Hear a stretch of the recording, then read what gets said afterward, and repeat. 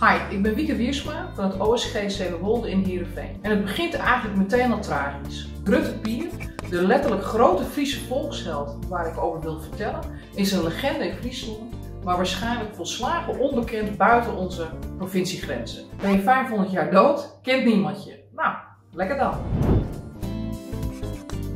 In het begin van de 16e eeuw stond Friesland onder het gezag van Georg van Saxe, hertog van Sagan en ridder van het Gulden Vlies. Hij had als bijnaam de gebaarde. Hij had een enorme baard die hij had laten staan vanwege het verdriet om zijn overleden vrouw. Nou, kom daar tegenwoordig nog maar eens om. Zoveel romantiek. Ondertussen had Karel van Gelder ook een oogje laten vallen op het prachtige Friesland. En dat werd knokken.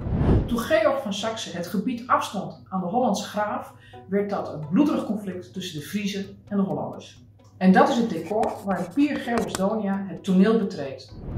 Pier, beter bekend als Gruttepier, want hij was groter dan 2 meter, was een boer bij Kimswert. En dat is vlakbij Harlingen. En had in eerste instantie helemaal niets met het conflict te maken. En dat veranderde in 1515, toen de Saksen zijn boerderij afbrandden. En daarbij kwamen zijn vrouw en een deel van zijn familie om het leven.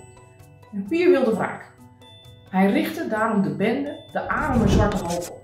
En als zeerover en als aanvoerder van deze bende zaaide hij dood en verderf op de Zuiderzee als piraat. Pier was dus als zeerover actief op de Zuiderzee. Hij deed dat met zijn maten en een enorm zwaard. Zo'n zwaard wordt een biedehender genoemd, omdat je met beide handen moet vasthouden.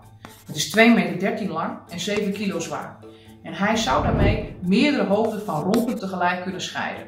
Dat is een hele prestatie. helemaal als je weet dat zijn tijdgenoten meerdere keren nodig hadden om slechts één hoofd van één romp te scheiden. Sowieso werd Ampier bijna buitenaardse krachten toegekend.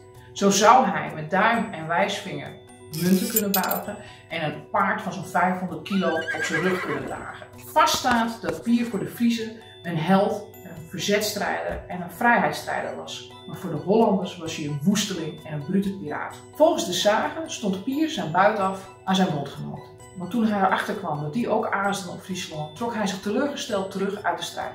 Hij ging in Sneekwonen en er zou door een waarzegster een voorspelling aan hem zijn gedaan. De zee zou zijn dood betekenen. Na drie jaar stierf Pier aan een gebroken hart van die heimwee naar die prachtige, prachtige Zuiderzee. En zo zou de zee uiteindelijk zijn dood